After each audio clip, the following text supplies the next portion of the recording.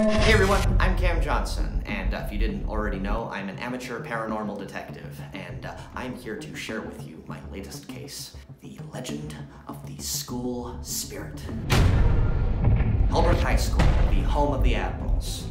Hellbrook is not exactly known for producing particularly successful students, but what it is known for as of recently is its mysteriously high level of disappearances amongst its student body. Now, the official story is that none of these disappearances are connected in any way whatsoever, but there is an urban legend that some believe might be the cause of these disappearances, and that legend is the school spirit.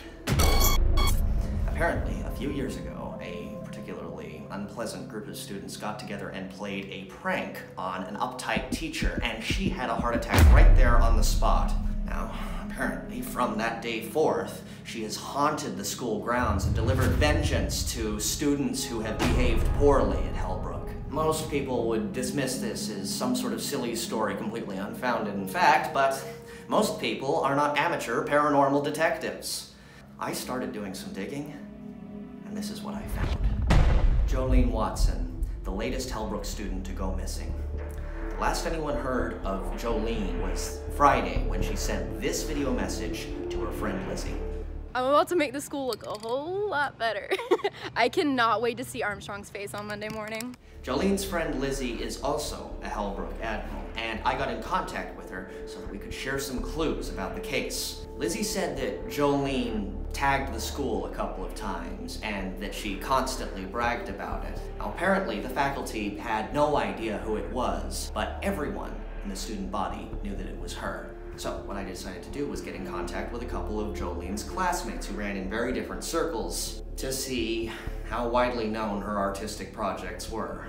Hey Cam, I unfortunately didn't really know Jolie that well, but I did hear her talking about spray painting Vice Principal Armstrong's door. I don't really like the guy either, but spray painting his door, that isn't really gonna make him or the school any better. Yeah, of course I knew about Jolene and her vandalism, even if she hadn't flat out bragged about it. She sometimes left spray paint cans in her locker in her backpack.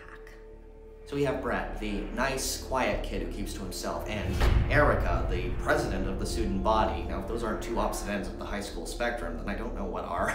This means that if both knew about Jolene, then this is widespread information, possibly widespread enough to capture the attention of the school spirit. Now, our hypothesis is that the school spirit hunts delinquents. And if Jolene was a known vandal, that means that she was a target. I asked Lizzie to send me some more messages in the conversation between her and Jolene leading up to the disappearance, and guys, I noticed something very strange in some of the photos that Jolene sent.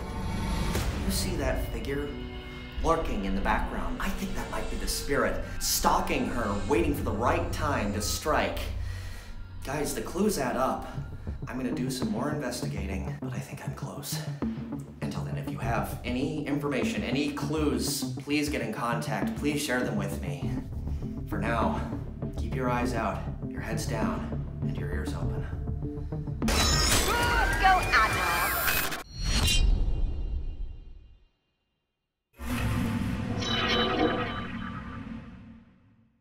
Watch new vids every Monday, Wednesday, and Friday, only on Crypt TV.